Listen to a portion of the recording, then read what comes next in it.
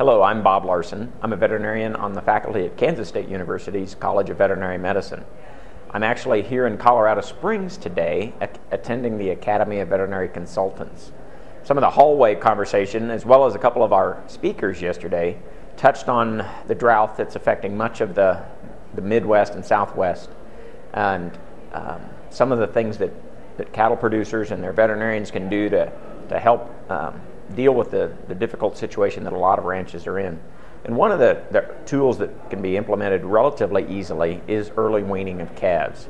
By weaning the calves off of the cows, we do a number of things. First of all, those calves themselves are consuming a, a surprising amount of forage out of pastures, as well as the demands that lactation make on the cows, increasing her nutrient demands. So that by weaning calves earlier than we typically do, we can take a fair amount of grazing pressure off of those pastures that are under tremendous stress right now.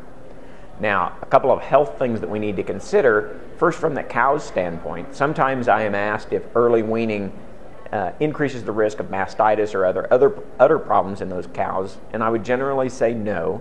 But I think it's a good idea to watch those cows, and, and if you see any problems, to, to intervene as quickly as possible. But generally, early weaning works pretty well on the cows as, from a health standpoint from calves, again, I've in the experiences I've had with producers that wean calves earlier than expected. And by earlier than expected, really we're talking any time from six weeks of age and older, or, or, even in emergency situations, three to four weeks of age and older, that those calves can do amazingly well. A few things we really need to focus on is their diet, making sure that they have some good quality forages and usually some grain supplement to meet their caloric needs.